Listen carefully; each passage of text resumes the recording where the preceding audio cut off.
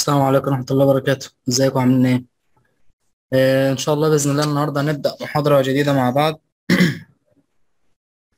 آه إن شاء الله بإذن الله النهاردة تكون آخر محاضرة مع بعض في آه المنحة اللي إحنا أخدناها الاي سي دي ال والاي سي دي ال تيتشر والاي سي 3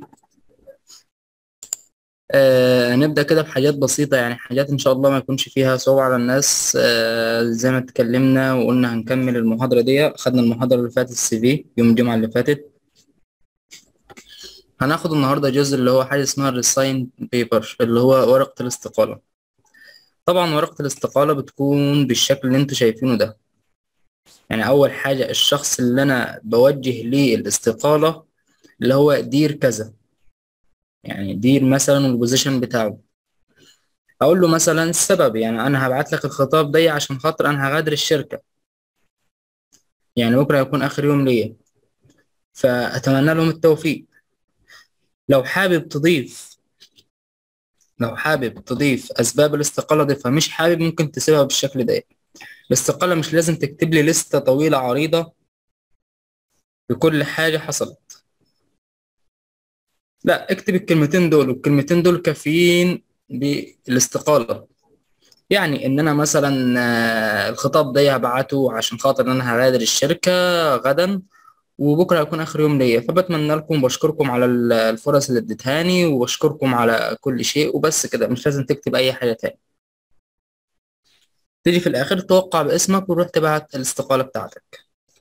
فدي بكل بساطة ورقة الاستقالة وازاي بتتعمل بس يفضل. لو هتبعت ورقة استقالة يفضل يفضل بس مش ضروري. يفضل إنك تكتب الأسباب اللي هتستقيل علشانها. تمام؟ آه زي مثلا كمثال. آه والله مثلا حصلت مشكلة معاك إن أنت مش قادر تكمل أنت جات لك وظيفة أحسن فلازم تكون يعني مبدئ الأسباب بتاعتك. ولازم تكون أسباب واضحة وأسباب مقنعة للاستقالة.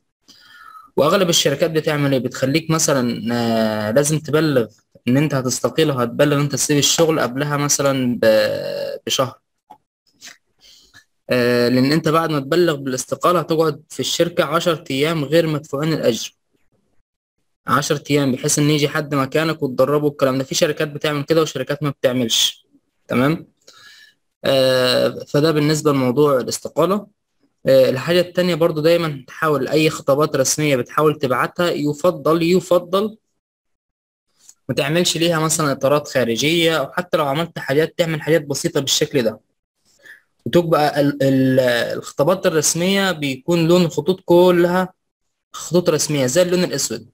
يعني تخلي العنوان مثلا باللون الأسود الغامق تخلي ال- اللي موجود داخل الرسالة باللون الأسود آه، مش الغامق تخليه الأسود اللي هو الفاتح.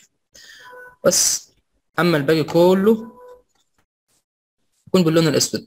ده اللي هو الرسائل أو الوسائل الرسمية. يعني الحاجات الرسمية اللي أنت تبعتها لابد إن هي تكون باللون الأسود. آه، عايز تعمل إطار اعمل. بس لو عملت إطار ما تعمليش إطار كده حاجة يعني زي كده مثلا. لا. اعمل إطار بسيط آه زي الحد دي يكون حاجة بسيطة. وابعت ال- الاستقالة ابعت الرسالة. لكن لو انت مش حابب تحط اطار ما تحطش اطار آه عايز تحط علامة مائية خاصة بالشركة حط. مش عايز ما تحطش. تمام؟ طيب. لازم برضو يبقى ليك صيغة موحدة لخطاب التحذير. لما تيجي تبعت تحذير مثلا لموظف معين عشان خاطر غياب أول حاجة برضو دير والشخص اللي موجه للخطاب. الشخص اللي موجه للخطاب. وهروح أنزل من تحت أشرح له الأسباب اللي أنا باعت ليها خطاب التحذير ده. وكمان أحاول أنصحه. يعني في خطاب التحذير أنصحه. أقول له والله أنت لو عملت كذا ممكن ك... يعني آه، تاخد مكافأة ممكن آه، تتعلى في الشركة ممكن ده يحسن من أدائك. ممكن ده يحسن من أدائك. فدايما ما تحطش آه، تفكيرك كله إن أنت تطلع السلب اللي موجود في الموظفين. لا اديلهم نقطة إيجابية حتى لو هو كان سلبي. حتى لو هو كان سلبي. حاول تشجعه حاول تقف جنبه حاول على قد ما تقدر تديله فرصة واتنين وتلاتة لكن أكتر من كده ما تديش فرص. أكتر من كده ما تديش فرص. هتدي فرصة. اتنين تلاتة أربعة خمسة عشرة مفيش فايدة. خلاص أنت عملت اللي عليك.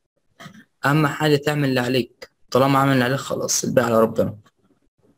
اختار التحذير برضو الشخص اللي موجه ليه وتكتب تحت مثلا توقيعك. وتحط الأسباب اللي أنت بعتها للشخص ده أنت بتحذره بخصوص إيه؟ أنت بتحذر الشخص ده بخصوص إيه بالظبط؟ آه حتى لو هو. ربنا يصلح حاله والله العظيم. ربنا يصلح حاله حرفيا.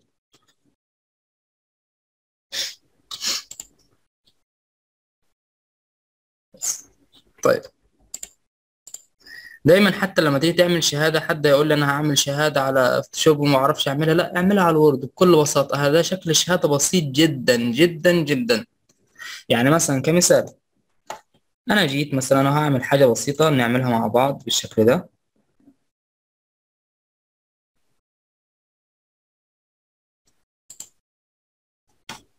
أخلي مثلا ال layout اللي هو اتجاه الشهادة أخليه landscape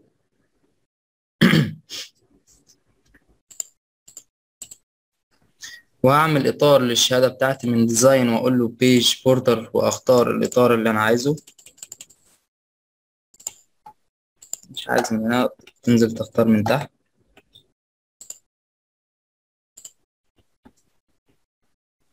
إحنا هنصمم شهادة بسيطة مع بعض كده دلوقتي.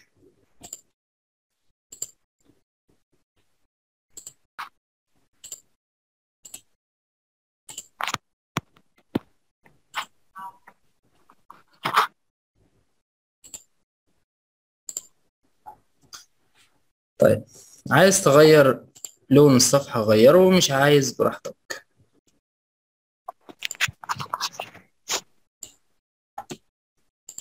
إحنا ممكن بأبسط الوسائل نعمل شهادة بسيطة جدا جدا أبسط مما نتخيل.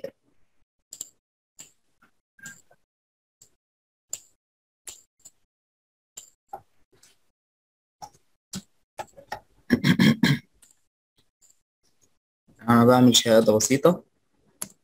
ابتدي أحط إبداعاتك كلها فيها.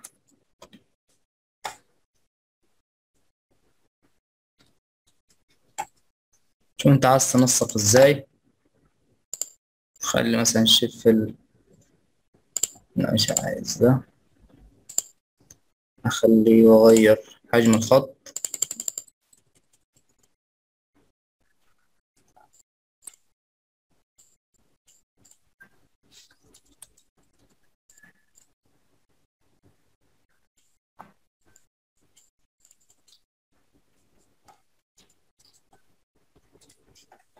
خلينا نكتبها بالعربي.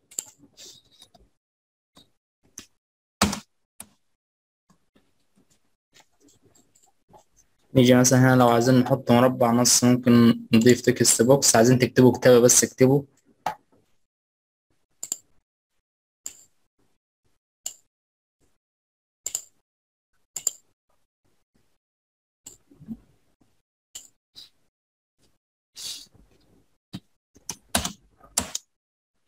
تشهد. أكاديمية.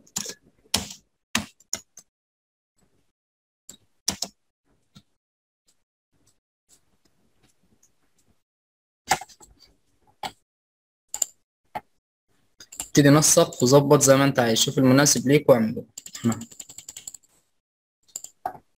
مثلا تشهد أكاديمية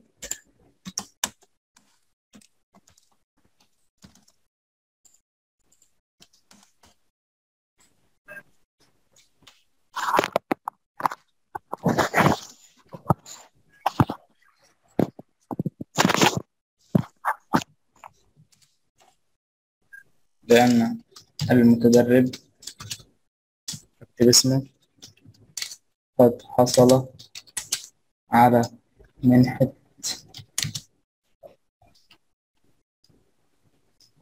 طرش والتي تحتوي على مثلا آيس بيل اتجاه الكتابة.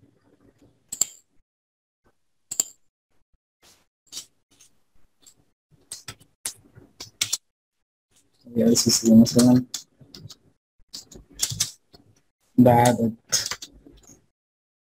ساعات أربعين ساعة بتقدير جيد جدا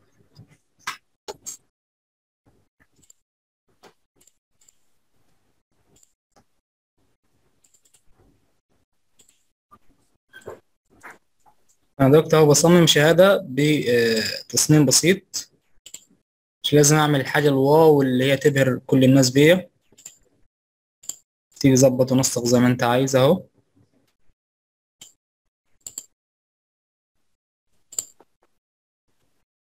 آه هي مش أحسن حاجة بس أنا بقول لك ممكن تعمل بأقل الإمكانيات اللي عندك.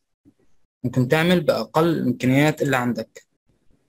وتيجي تحت تمضي مثلا باسم المدرب واسم مدير الأكاديمية أو رئيس الأكاديمية وهكذا. أو زي الشهادة دي مثلا.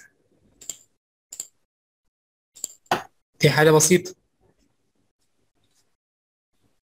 بس ممكن تعمل حاجة زيها دايما في أغلب الشهادات بيتم كتابة إيه؟ بيتم كتابة اسم الم... اسم المتدرب اسم الكورس اللي أخده عدد الساعات. دول أهم ثلاث حاجات بتكتبوا في أي شهادة. وإمضة المدرب من تحت وإمضة الإيه؟ المدير الأكاديمية أو رئيس مجلس إدارة الأكاديمية. ده بالنسبة لموضوع الشهادات.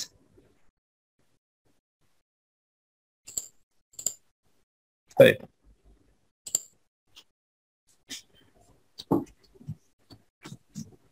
في معلومة ناخدها مع بعض كده برضو جديدة النهاردة. المعلومة دي بتتكلم عن إيه بالظبط؟ الناس اللي بتعمل كلمات مرور للقرص الصلب أو لل drive عموما. يعني أنا لو رحت تعالوا كده نروح مع بعض على control panel وأغير ال view by أخليها مثلا ال large ففي حاجة اسمها ال BitLocker أهو. ال BitLocker. أول ما تدوس عليها فهتلاقيها ظهرت بالشكل ده أهو. ظهر بالشكل ده. أنا علشان أشغل ال BitLocker هنا هقول له إيه؟ turn on بصوا كده معايا خلينا ماشيين واحدة واحدة. أدي turn on starting BitLocker the start options in this PC. طب ما رضيتش تعمل معايا من هنا أعملها إزاي؟ أدخل على this PC وأحدد ال drive. وفي حاجة اسمها ال drive tools. ومن ال BitLocker أختار turn on BitLocker. turn on BitLocker.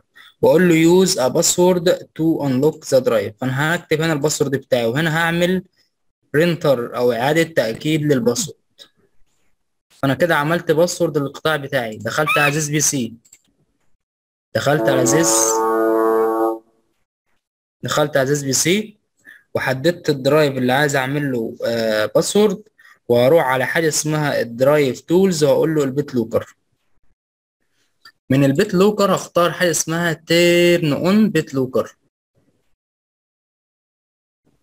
بعد كده هعلم علامة صح أقول له أنا عايز أستخدم password وأكتب هنا ال password وهنا أعمل إعادة تأكيد لل password بتاعي. طيب. أنا جيت حطيت ال password بالشكل ده أهو. حطيت ال password بالشكل ده. طيب. أنا إزاي أشيل كلمة المرور بتاعة القرص الصلب؟ الكلمة اللي أنا حطيتها اشيلها إزاي؟ هو هنا بيقول لك تروح على حاجة اسمها ال run وتكتب فيها الكلام اللي كتبه ده أهو. أنا هروح على ال run. وهكتب الكلمة اللي كتبها. C O M أهي. وبعد كده هقول له OK.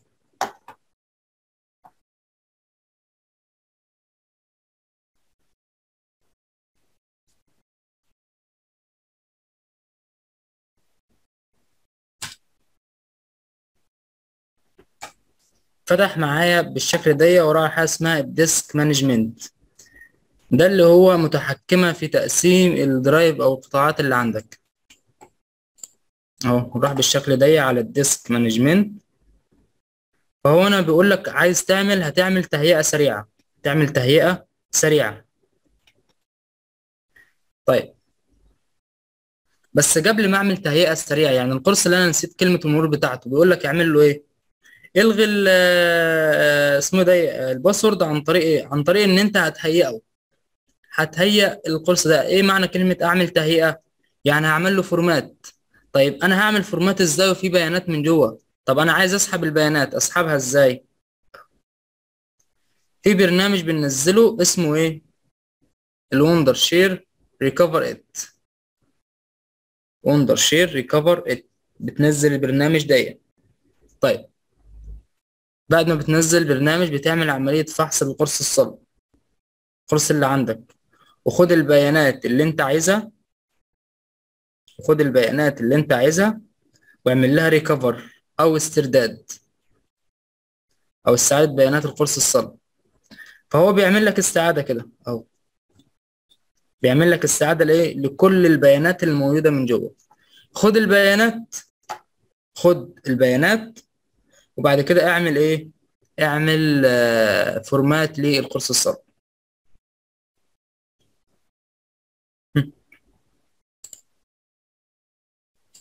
دي الجزئية اللي من خلالها بعمل إيه؟ بعمل تقسيم لل drive أو القطاع بتاعي.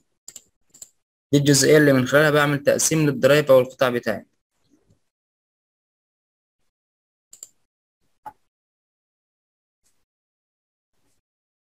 يعني البرنامج اللي بعمل بيه استعادة لأي ملفات موجودة عندي اسمه Wondershare Recoverit و Wondershare Recoverit ده البرنامج اللي بعمل ليه استعادة لأي ملفات موجودة عندي. ايا كان نوع الملفات دي إيه؟ ايا كان نوع الملفات دي إيه؟ طيب. دي معلومة. في معلومة تانية؟ هناخدها مع بعض. لحظات.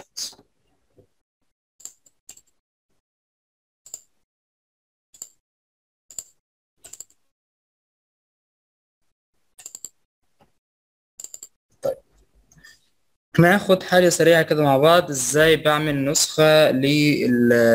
للجهاز بتاعي؟ طيب. ثواني بس أفتح الملف.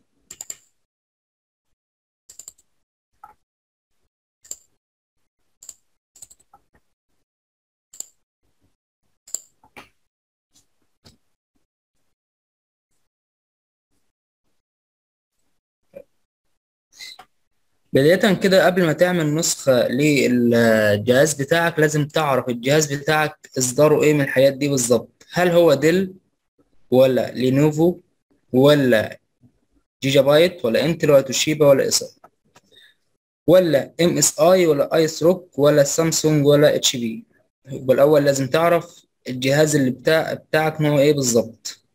وعلى حسب النوع ده على حسب النوع اللي أنت شايفه. طيب دلوقتي نفترض أنا معايا فلاشة فيها نسخة ومعايا أسطوانة فيها نسخة.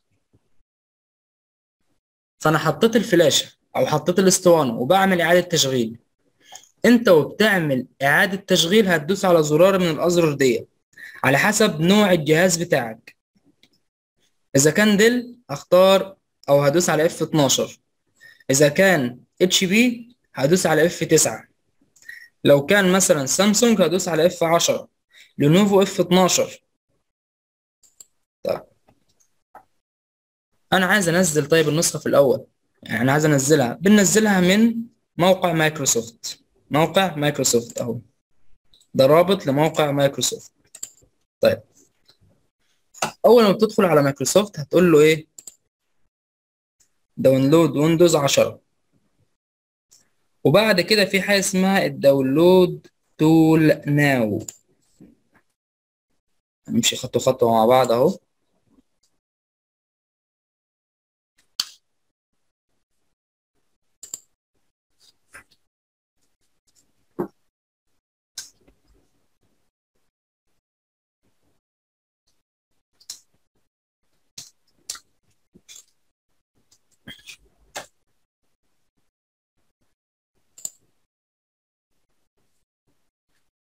هنا بيقول لك أنا دخلت على تحميل Windows 10 من مايكروسوفت آه دي Microsoft ال ISO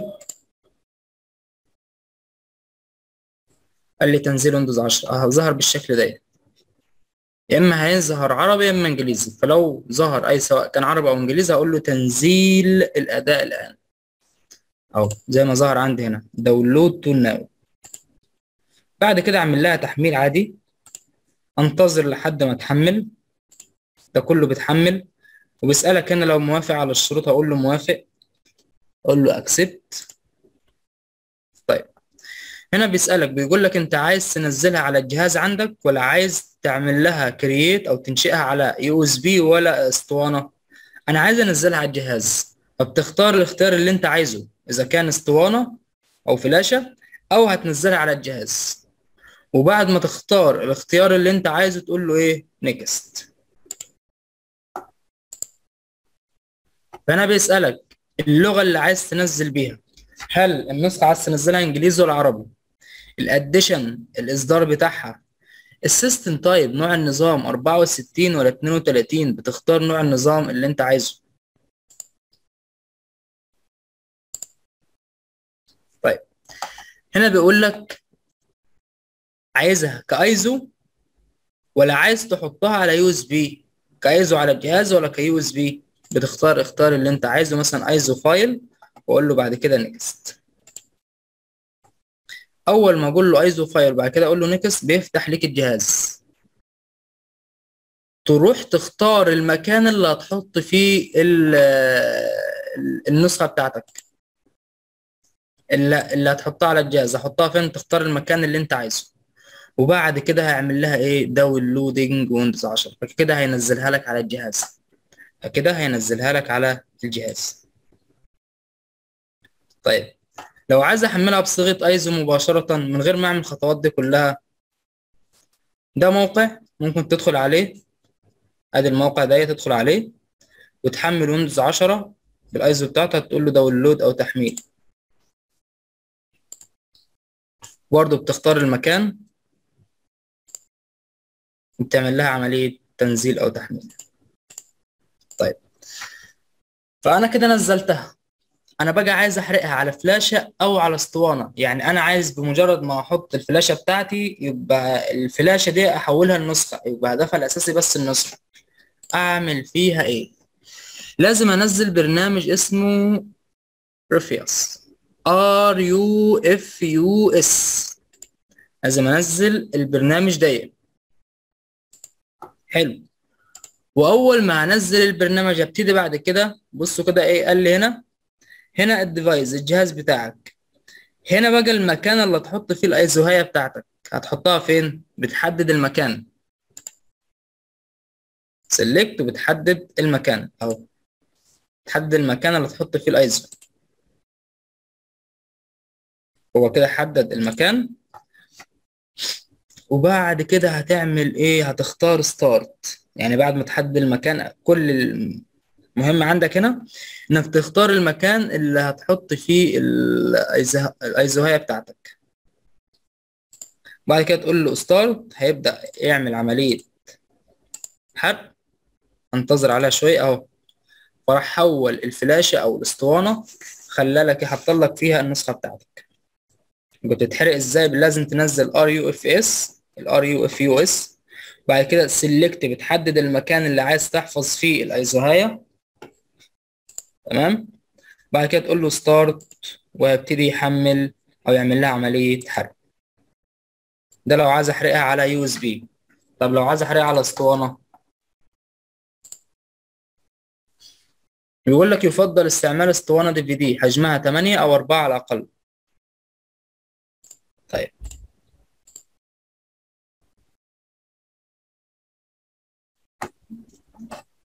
هنا بيقول لك في حاجة اسمها البيرن كنترول زد البيرن سي دي سي سي تمشي برضه تتبع نفس الخطوات وبتحدد المكان اللي عايز تحفظ فيه. الشكل ده. تعمل له عملية ستارت أو نيكست أبتدي يعمل عملية تحميل على الاسطوانة لا الحرق مش نسخ. الحرق إن هو بمعنى ان بيخلي لك مثلا كمثال الفلاشة بتاعتك هي هدفها الأساسي إيه؟ جزءها الأساسي إيه؟ هي النسخة بس. لكن ممكن أخزن فيها ملفات آه ممكن نخزن فيها ملفات. ده بالنسبة للفلاشة. لكن أنا الفلاشة لو جيت حطيتها على الجهاز وحبيت دوست على زرار من الازرار اللي إحنا قلنا عليها إذا كان ديل F 12 آه لينوفو إف 12 إتش بي إف 9 سامسونج F 10 فأول ما تدوس على زرار من الزرار ده هيجي لك اللي هو إيه تثبيت النسخة. لكن لو أنا مش عامل حرق للنسخة على الفلاشه مهما تعملي أو مهما تدوسي على الأزرار دي مش هيظهر معاكي.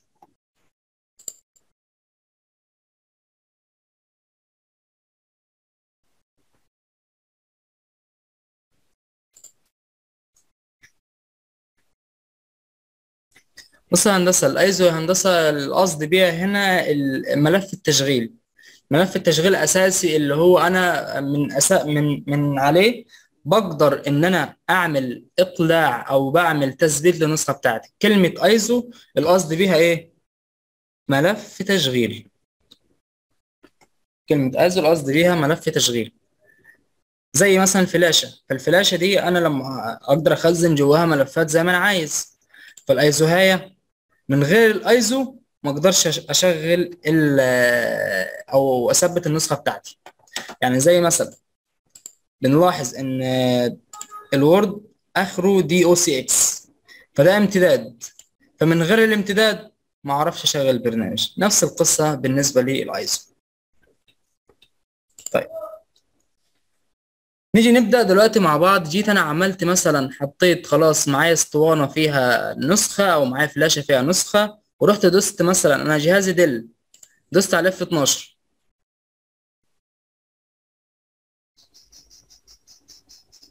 دوست على F 12 فهيظهر معاك اختيارات. فبيقول لك اللي أنت حاططها دي USB ولا ولا سي دي فأنت بتختار أنت حاطط إيه بالظبط. أنا حاطط مثلا USB هو بيسألك هنا أنت حاطط أي واحدة من دول. حاطط USB ولا حاطط سي دي بتختار الاختيار اللي انت حاطه. بس ال USB بيكون مديلك اسم الفلاشة اللي انت حاططها. فبتختار الاختيار أهو. اللي انت شايفه بعد كده بندخل على أهم حاجة بعد كده اللي هي الإعدادات دي. أهو. هناخدها مع بعض. طيب النسخ إن أنا باخد نسخة احتياطية من ملف. النسخ إن أنا آخد نسخة احتياطية من ملف. بس الحرق مش شرط إن أنا آخد نسخة منه. الحرق بينقل لك الحاجة بينقل لك الحاجة من مكان لمكان. يعني بيخلي لك الهدف الرئيسي بتاع الفلاشة اللي هو الحرق. الهدف الرئيسي بتاع الفلاشة إن أنا أثبت بيها نسخة. ده الهدف الأساسي بتاعها. أنا كده حولت الفلاشة لنسخة لنسخة ويندوز ده معنى كلمة حرق. أنا أنا يبقى هدف الأساسي أو الهدف الأساسي بتاع الفلاشة هي تثبيت النسخة. ده الهدف الأساسي بتاعها. هي وظيفتها كده والوظيفة الأساسية بتاعتها. لكن ينفع أخزن فيها ملفات؟ آه. بس تخزين الملفات هتبقى وظيفة ثانوية. أما الوظيفة الأساسية هي تثبيت النسخة. فده معنى كلمة الحرق. طيب. بيسألك هنا آه بعض الأسئلة. أول ما تيجي تعمل تثبيت للنسخة أول حاجة بيقول لك ال language to install اللغة اللي عايز تثبت بيها. اللغة اللي عايز تثبت بيها. أنت بتختار هنا اللغة اللي عايز تثبت بيها النسخة. اللغة اللي أنت عايز تثبت بيها النسخة. نفترض أنا عايز أثبت باللغة الإنجليزية. تروح تختار إنجليزي. طيب. تاني حاجة بيقول لك ال time and currency format الوقت واللغة. يعني أنا لو مصر هختار الوقت واللغة Arabic ليه؟ يجيب لك التوقيت والعملة بتوع مصر بتوع مصر بتوع الدولة العربية.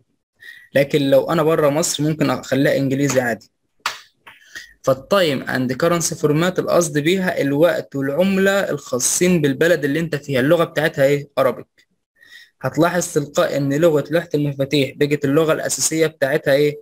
Arabic لكن لو عايز أخلي إن الوقت والعملة بتوعتي اللغة الأساسية بتاعتها إنجليزي أختار English بعد كده أقول له إيه next فاول حاجة هنا اللغة اللي عايز أثبت بيها.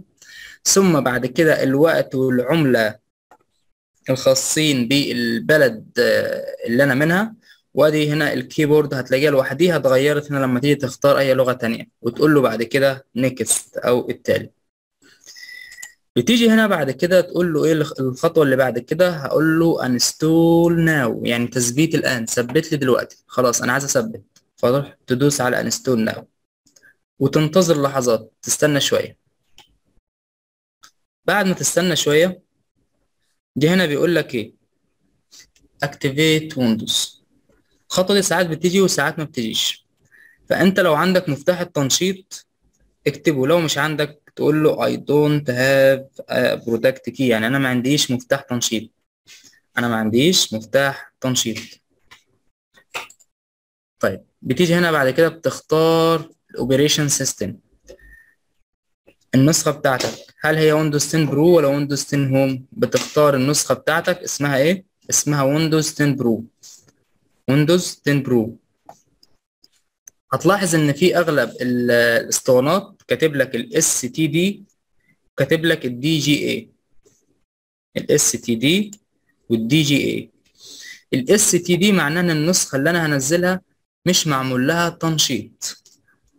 ال STD معناها إن النسخة اللي أنا منزلها مش معمول لها تنشيط.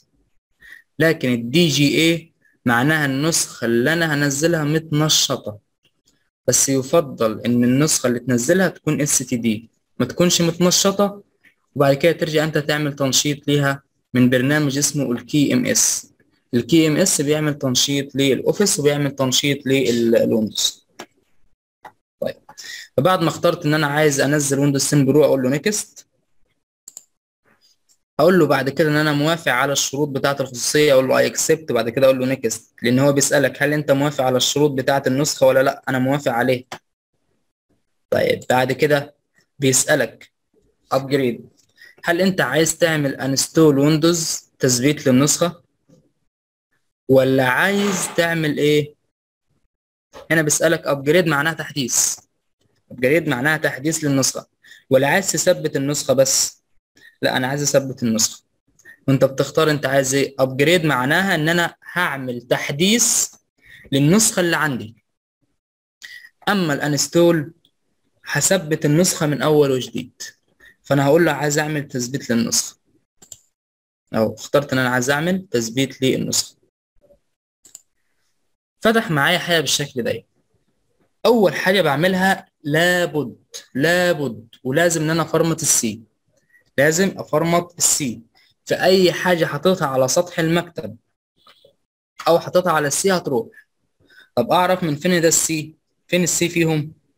لو ال system. ال system. ساعات ال system بتلاحظ إن ال system دي إن الحجم بتاعه قليل جدا. فأكبر drive فيه مساحة هو ال C بتاعك. أكبر drive فيه مساحة هو ال C. فأنت بتعمل format إزاي؟ بتحدد ال drive اللي عايز تعمل له format وبتختار من تحت كلمة اسمها إيه؟ format أو إعادة تهيئة. طيب لو عايز تحذفه أصلا بتحدد ال drive وتقول له delete أو حذف. طيب لو عايز ت create واحد جديد تختار حاجة اسمها new أو جديد. new أو جديد. بأدي الخطوات. أنا حددت ال system دي أهو. ده اللي هو ال C اللي إحنا قلنا بنفرمت ال C. قلنا delete حذف. و format آه بيمسح لك كل الموجود من جوه. وال new بيعمل لك إيه؟ بيعمل لك آه drive جديد. بيعمل لك إعادة تقسيم. هنا بشرح لك كل حاجة بتعمل إيه بالشكل ده. طيب هو مسح كله راح بعد كده راح على new تمام؟ أول ما داس على new ظهر بالشكل ده. فابتدي بقى ا create درايفات تانية. فأول ما دوس على new ظهرت كلمة اسمها size الحجم بتاعك ظاهر بالميجا بايت يعني أنا لو عايز أخلي ال drive دي آه 500 آه جيجا بايت. أخليها كام بالميجا؟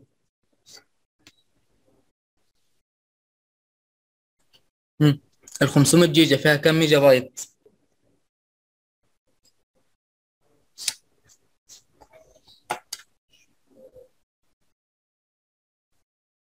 خمسمائة ألف؟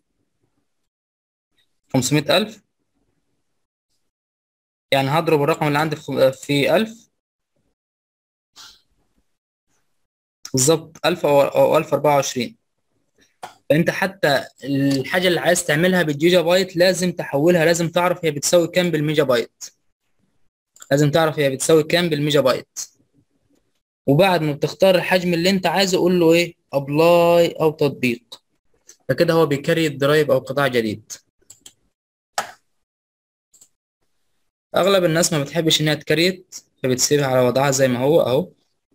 وكل ده بيعمل عملية create طيب بعد ما بخلص يعني أول حاجة عملها إن هو فرمت ال C اللي هو ال system. وبعد ما فرمت ال C راح على drive تاني وقف عليه واختار حاجة اسمها next اللي هو التالي. فأول ما تدوس على التالي فهنا بيبتدي يعمل بقى إيه؟ تثبيت للنسخة. انتظر لحد ما يبقى ده كله صح باللون الأخضر. انتظر لحد ما يبقى ده كله صح باللون الأخضر أهو بالشكل ده. بس فكده خلص. ولو جات لك الرسالة دي تاني اختار نفس الاختيارات برضو. طيب. بعد كده بيسألك هنا. البلد أو اللغة بتاعت لوحة المفاتيح اللغة الأساسية؟ للبلد Egypt. اللغة الأساسية US اللي هي اللغة الإنجليزية. اللغة الأساسية بتاعت لوحة المفاتيح اللغة الأساسية. اللي هي اللغة الإنجليزية.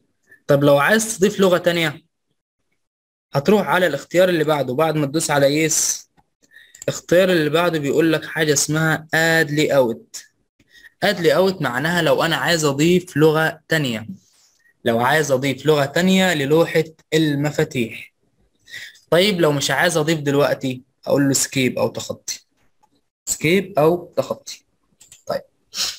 لو أنا متصل بالإنترنت أعمل اتصال بالإنترنت. ليه؟ لأن أنا لو متصل بيه هينشط النسخة لوحده.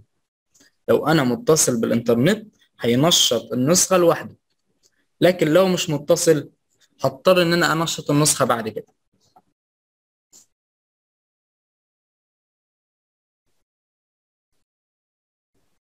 طيب. بيجي بعد كده بيسألك بيقول لك إن الجهاز اللي هتستخدمه ده هل هو هتستخدمه لمنظمة أو لشركة يعني ولا هتستخدمه استعمال شخصي؟ هقول إن أنا هستخدمه استخدام شخصي set up for personal use. سواء كان أصلية هندسة أو غير أصلية دي كلها طرق. يعني دلوقتي أنت بالنسبة لويندوز 7 و8 و10 و11 بيتثبتوا بنفس الطريقة. بيتثبتوا بنفس الطريقة.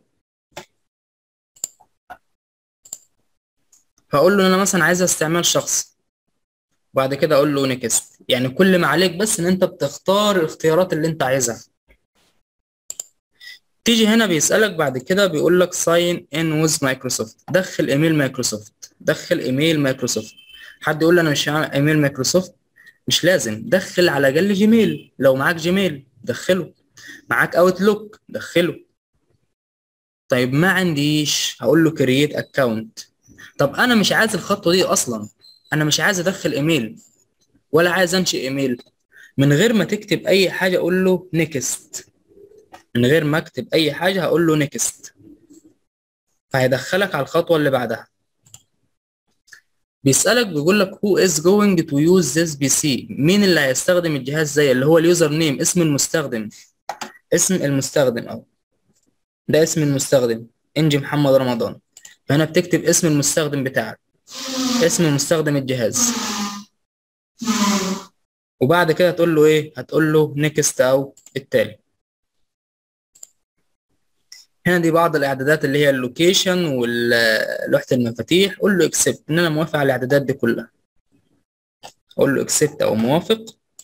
بعد كده أروح إيه أنتظر عليه لحظات هيفتح معايا جهاز الكمبيوتر. أول ما فتح معايا جا لي من Microsoft Edge أقول له بدء الاستخدام هيفتح معايا بالشكل ده أهو. طيب الأيقونات فين؟ مش ظاهره أظهرها إزاي الأيقونات؟ click يمين. بعد كده بنروح على حاجة اسمها ال personalize أو تخصيص.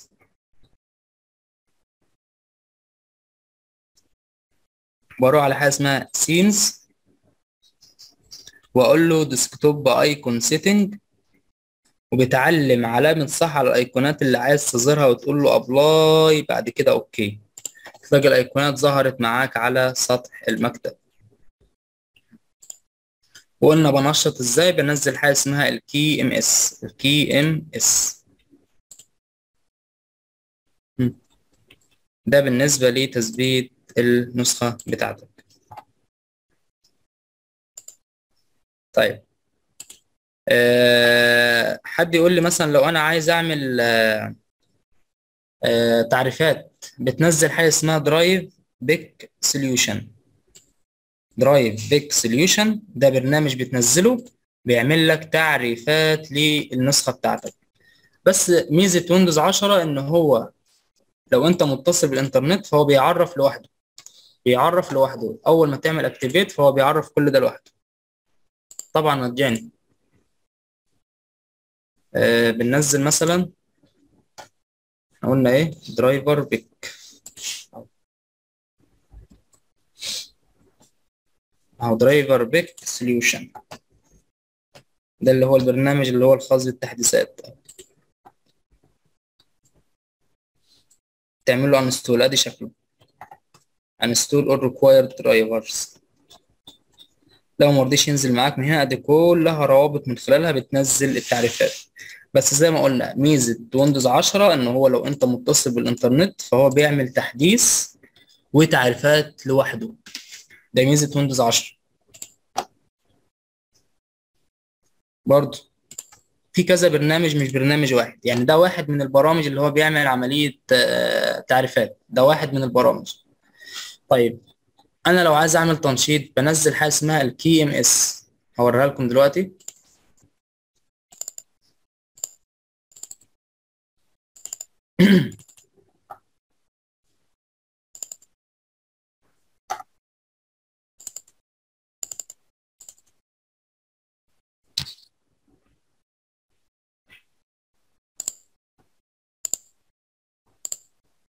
دي في أداة اسمها ام إس تولز. هي أداة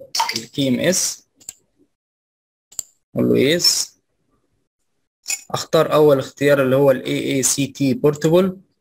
أنا لو عايز أعمل تنشيط للنسخة هدوس على كلمة Windows activation وأسيبه مع نفسه. طب عايز أعمل تنشيط لل Office Office activation وبرضه بسيبه مع نفسه. لحد ما يجي لي من تحت كلمة اسمها done وهتلاقي إن الشاشة ظهرت باللون الأخضر. الشاشة دي بقت باللون الأخضر. كده أنا عملت تنشيط.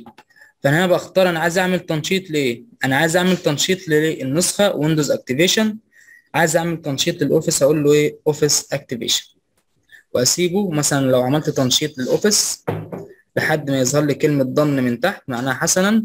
فكده تلاقيه عمل التنشيط للحاجة اللي أنت عايزها. ده بالنسبة لموضوع التنشيط. وبالنسبة لموضوع النسخ. حد عنده سؤال في الكلام اللي أنا قلته لحد دلوقتي؟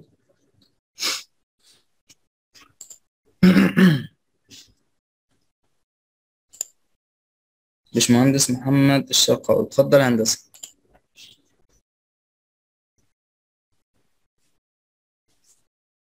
اتفضل يا هندسة معاك سلام.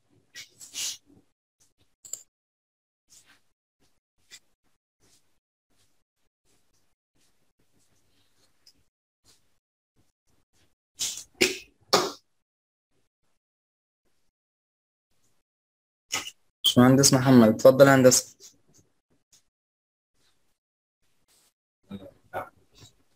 آه، باشمهندس السلام عليكم. وعليكم السلام. آه، باشمهندس آه، مشكور جدا يا باشمهندس على المعلومات القيمة دي يا باشمهندس. بس لازم بس حضرتك يا باشمهندس إذا في مجال بس في نهاية المحاضرة تعيد لنا بس ال- الموضوع الفتح ده تاني مرة اللي هو بتاع الدرايف نفسه لأن كان عندي الإنترنت فصل و- وما لحقتش آه، يعني بس من يا باشمهندس من أول ما تيجي تخش تيجي تخش على اللي هو تيجي تدي من ال Windows لل R وبتحط ال command بص يا هندسة Windows مع R بتكتب الكلمة اللي أنا كاتبها دي. تمام؟ تكتب الكلمة اللي أنا كاتبها هنا. بعد كده بتقول له على OK إن أنت موافق. تلاقيه فتح معاك حاجة بالشكل ده. بتروح على حاجة اسمها ال Disk Management اللي هو تقسيم ال drive أو القطاع اللي عندك. طيب. هنا القطاع اللي أنت آه، قفلته click يمين ومفروض نعمل له عملية إيه؟ تهيئة. يعني أنا هشيل كل اللي فيه أعمل له format تمام؟ ده لو قفلته. تلاقيها ظاهرة معاك. بس قبل ما أعمل format في خطوة لازم أعملها. إيه هي الخطوة دي؟ بننزل برنامج اسمه أهو هندسة.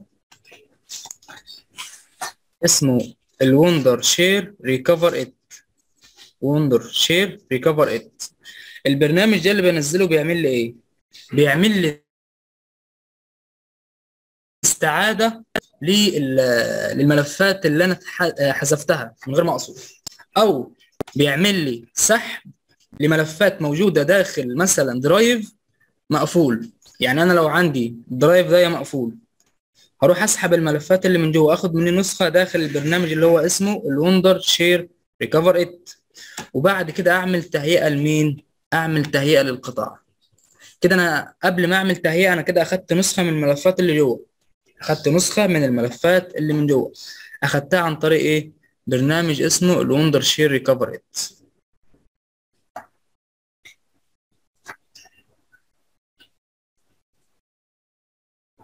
وصلت يا هندسة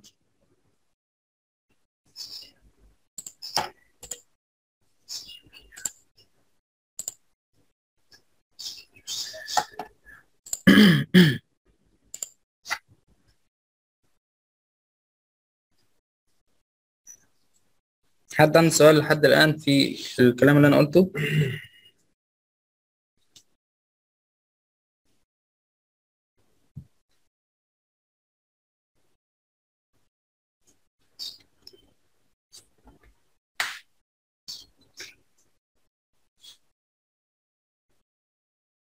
حد عنده سؤال بخصوص محاضرة النهاردة؟ هو إحنا كده أنا أعتبر كده خلصت آه، اللي كان المفروض يتقال في محاضرة النهاردة. آه، وبكده هنكون خلصنا مع بعض برضو إزاي أعمل backup لل Windows من جوه بس يكون فعال. ماشي. آه، إزاي أعمل ال Windows؟ آه، ما هو ال Windows يا هندسة لو سقط معاك أو مرضيش يشتغل بعد كده برضو بتعمله تثبيت بنفس الطريقة. بس لازم يكون معاك أسطوانة معاك أسطوانة أو فلاشة تمام؟ آه، في موجودة فيها النسخة وبتمشي بنفس الخطوات اللي إحنا شرحناها. بس. طبعا. بس لازم يكون معاك فلاشة أو أسطوانة. يعني فلاشة أو أسطوانة تعمل بيها ال- النسخة.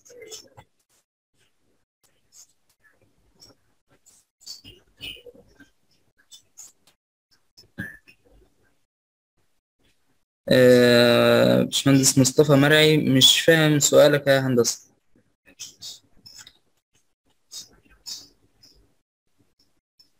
مش فاهم برضو سؤالك.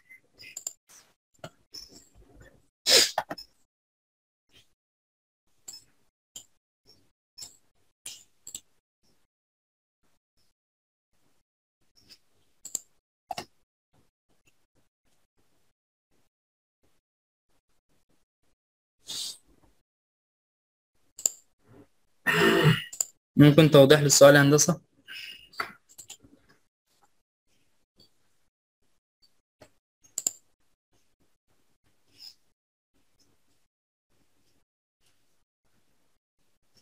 option recovery موجود فين؟ ال option بتاع recovery موجود فين؟ ليه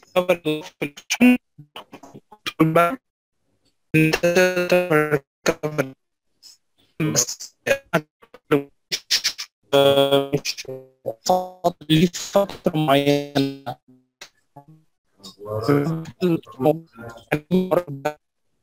هندسة الصوت بيقطع مش سامع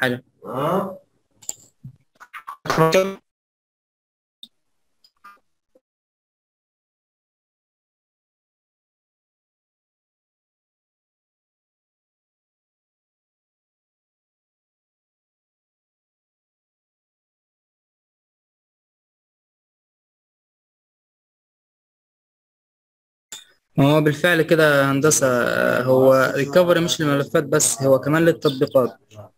آه، هو أنا داخل عايز أعمل مم، اتفضل يا هندسة. داخل ال recovery داخل جوه في ال Control Panel في recovery تمام؟ ال recovery ده بيسحب ال backup بتاع ال Windows بالبرامج بتاعته. تمام؟ أنا لما باجي أعمله وأ save ه already هو بيقعد فترة معينة 15 يوم. بعد كده لما باجي اعمل له backup آه، أو restore مش بيشتغل. لأن أنا بحتاج ال software بالبرامج بتاعته. بس في نفس الوقت أنا ببقى إيه آخر update أنا عامله. طيب هو المشكلة يا هندسة إن هو زي ما أنت بتقول بكل فترة معينة تمام؟ آه، زائد إن أنت لو عملت update للنسخة بتاعتك كنت عامل recovery بتفقد كل اللي أنت عملته. ده على حسب علمي. بتفقد كل اللي أنت كنت عامله قبل كده. لكن معلومة أكتر من كده للأسف ما عنديش معلومة أكتر من كده والله. لا بسيطة يعني تمام ماشي. أشكرك جدا يا هندسة. العفو يا حبيبي تحت أمرك. آه، بصوا إحنا كده يعتبر خلصنا اللي كنا محتاجين نقوله. آه، في أي حد عنده سؤال تاني بخصوص اللي إحنا أخدناه من أول يوم لحد النهاردة؟ المفروض العمل على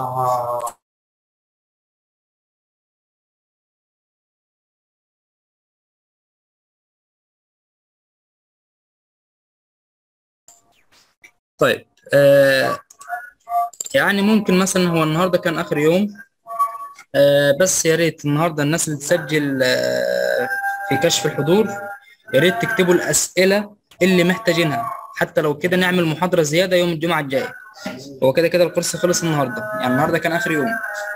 بس لو آه عندكم أسئلة يا ريت الناس النهارده تكتب كل الأسئلة اللي أنتم محتاجينها. كل الأسئلة ايا كان الأسئلة إيه. في المحتوى اللي إحنا أخدناه سواء كان بداية من الكمبيوتر لحد آخر يوم إحنا خدناه النهاردة. امبارح ولا اول امبارح فالناس تكتب الأسئلة كلها وإن شاء الله بإذن الله لو كده يعني لو لقيت في أسئلة كتيرة أو لقيت حتى في أسئلة ولو بسيطة هندي محاضرة الجمعة الجاية ولو ساعة أو نص ساعة كده. نشرح فيها كل الأسئلة اللي الناس سألتها. ده لو لو محدش فاكر أسئلة دلوقتي وممكن يكتبها في الفورم أو الاستمارة اللي هسجل فيها الحضور. آه، أتمنى إن أنا يعني آه، أكون إن أنا الفترة اللي فاتت كنت آه، ضيف خفيف عليكم. أتمنى إن نكون عرفنا وقدرنا إن إحنا نوصل لكم ولو جزء بسيط من ال- ال- اللي إحنا قدرنا نتعلمه. إن شاء الله بإذن الله تابعوا آه، على بيم إريبيا. في فيديوهات مسجلة قصيرة هتنزل. آه، هحاول أسجل لكم برضو آه، أسئلة الاختبارات الدولية هسجلها وأنزلها لكم. آه، بتمنى لكم التوفيق إن شاء الله وأتمنى يعني أتمنى من الله عز وجل يعني الناس تفضل فاكرانا دايما بالخير يعني. آه، بالتوفيق لكم وزي ما قلت لكم اللي عنده أي سؤال يكتبه النهاردة كده بإذن الله ولو كده ممكن نعمل محاضرة الجمعة اللي جاية بإذن الله.